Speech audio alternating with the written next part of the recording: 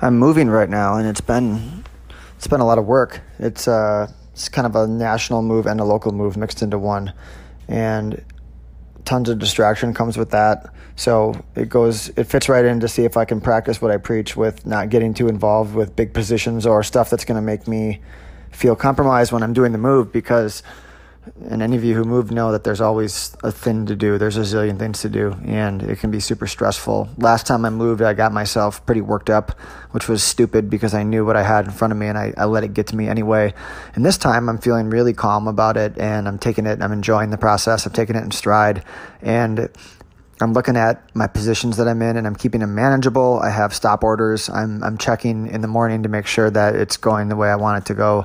And I'm just going to have to kind of lay by my dish a little bit for a week until I can refocus. And that's, that's just okay. It's actually the best thing I can do because if I start to get myself involved in stuff, it, I just get, you get irritated with people. I get, I get, I don't know, sloppy with everything. And then I start losing money and I'm acting like a dick to my wife who's trying to do a lot of the move and work on stuff with me. So that's just not going to work. And I've tried that in the past and it's just, it's not who I want to be, and it's all it's all preventable if you're able to just kind of you know you if you don't want to be absorbing big losses and having wild swings while you're doing a move.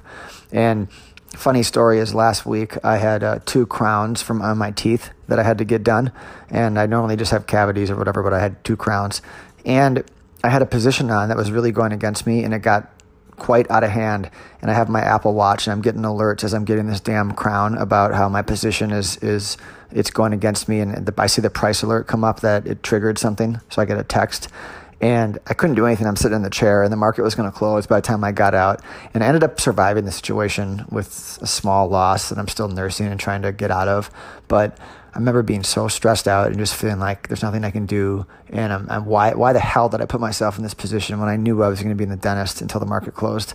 And, you know, there, was, there wasn't a chance that the position could do this. And sure, sure enough, of course, it always does. You know, that small thing that you don't want it to do at some point, that always happens to you.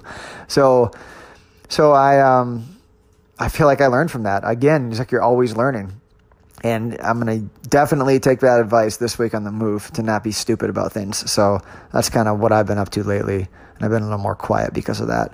Um, the other thing is I talked to a good friend who traded for with me for 10, 12 years. And he was one of the best traders that I've been around. And he has been journeying through different things, trying to figure out he's stepping away from day trading and, and lengthening his time frame as well. And he's tried a few different things. Even kind of went over to right the regular working world for a while and tried to repurpose his skills and and looked for new challenges and has come back to trading in his own way. And he was just so grateful for the freedom that this provides and the ability to not be told what to do and to show up when you want and make your own decisions and your own rules and have you don't have to kiss up to anybody. It's all about your results and you're accountable only to yourself and just how refreshing and awesome that can be if you can if you can pull that off. And it I guess through him, I got a reappreciation for everything. Just remembering that that's you know at times it can be very stressful, but in the end, it's it's a great way to live.